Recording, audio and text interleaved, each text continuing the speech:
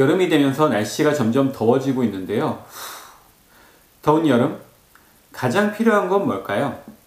필요한 건 바로 선풍기겠죠. 이번에는 샤오미 선풍기를 소개해 드리겠습니다.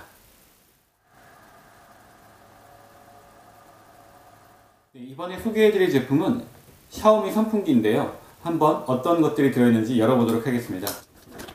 품질 테스트를 통과했다는 도장이 찍혀있는 예, 설명서가 들어있고요. 이 안에 보시면 충전을 할 수 있는 네, 충전용 케이블이 들어있습니다. 그리고 드디어 제품이 들어있는데요. 짠! 네. 이렇게 선풍기 제품을 확인해 보실 수가 있습니다. 기존 미니 선풍기들의 단점은 회전이 안 된다는 거였죠.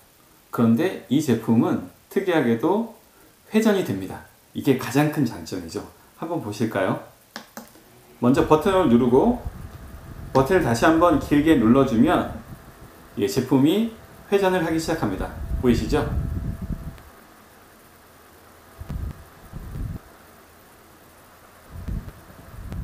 그리고 버튼을 다시 한번 눌러주면 길게 눌러주면 회전이 멈추게 됩니다. 예, 이 제품의 다른 장점은 이렇게 앞면이 따로 분리가 된다는 건데요. 음, 앞면이 이렇게 분리가 되기 때문에 안에 먼지가 쌓여 있어도 깨끗하게 청소를 할 수가 있습니다. 근데 이 제품은 뭐 전기나 배터리가 따로 필요한 건 아니고요. 이렇게 USB 충전 케이블만 있으면 뭐 언제 어디서나 쉽게 충전을 할 수가 있습니다. 샤오미 선풍기 제품을 다시 한번 살펴보면 저소음이기 때문에 사용할 때 굉장히 조용하고요.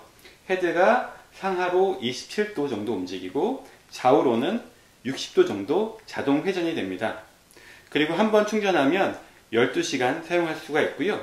그리고 USB로 충전을 할 수 있기 때문에 야외에서도 사용할 수가 있어서 굉장히 좋은 것 같습니다.